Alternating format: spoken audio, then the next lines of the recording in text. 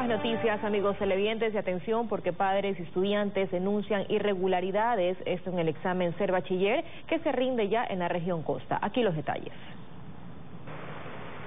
Varias son las denuncias que realizaron padres de estudiantes que rindieron el examen Ser Bachiller, comenzando por la supuesta filtración de la prueba con las respuestas incluidas. Incluso las quejas se hicieron virales en redes sociales donde manifestaban que los evaluaron sobre otros temas para los que no se habían preparado.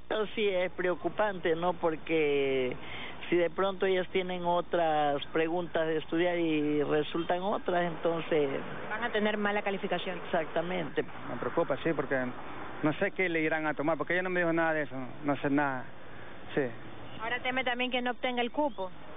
Exactamente, porque ya por ya salir y, un cupo a la, universidad. Eso sí nos sorprendió y, y, crearon expectativas, no solamente en los docentes, sino los estudiantes, porque al hablar de un cambio y al decirlo a última hora, realmente eso sí causa este, esta, esta estas expectativas y, y, realmente todos estamos preocupados. La presidenta de la Federación de Establecimientos de Educación Particulares Laicos del Guayas, FEDEPAL, cree que para evitar que se filtre la prueba se debe tomar otras medidas.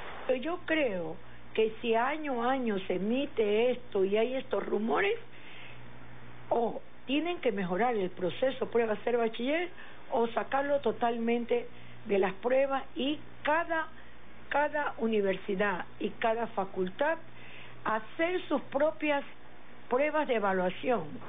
El INEVAL informó que en la región Costa cerca de 60.000 estudiantes rendirán el examen hasta este jueves. El 15 y 16 de febrero podrán solicitar la recalificación y conocerán la nota final el 26 de ese mismo mes. Nicole Galil, TC Televisión.